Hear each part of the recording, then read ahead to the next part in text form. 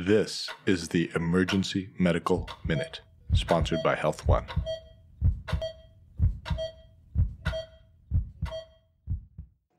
Okay, we're going to talk about something that typically we do every single day, and that is deal with patients with migraine headaches, right? So, we are all familiar with the migraine cocktail, but I'd like to look at every single ingredient in said cocktail and talk about what it does and why we give it, okay? So, uh, what is a migraine cocktail? Okay, Reglan, Benadryl, Toradol, uh, oftentimes Decadron, right? And then IV fluids. So the reason why I'm going to talk about this medical minute is because there's a recent study that was done in the uh, in Annals of Emergency Medicine, which says one of those is useless. And which one is useless? Nope, not Decadron. Oh, well, nope, Haldol's never worthless. We love Haldol. you you shut your tongue. yeah, not Benadryl. IV fluids. You don't need to give fluids to people with, with migraines. It actually has no benefit.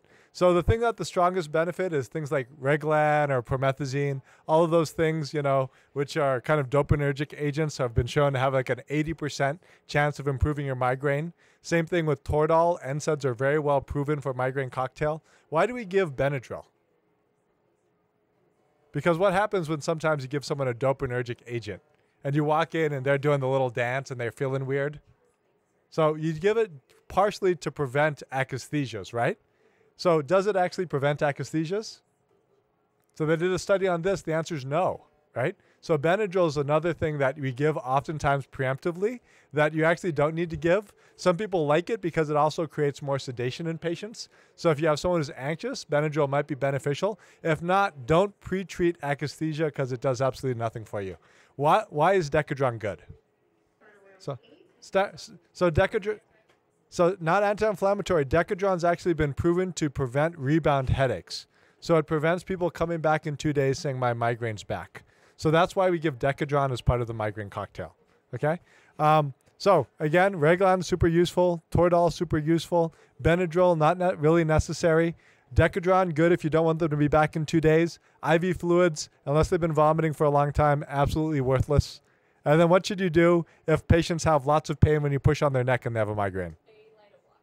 Yes, a block. So you should do trigger point injections or occipital nerve blocks, both of which have greater than 90% efficacy, or around 90 to 80% efficacy in resolving uh, cervicogenic or like migraines related to neck pain.